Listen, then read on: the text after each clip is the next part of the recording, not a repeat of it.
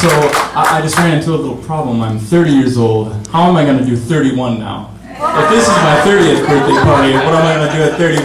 What happens when you reach the top? This is incredible.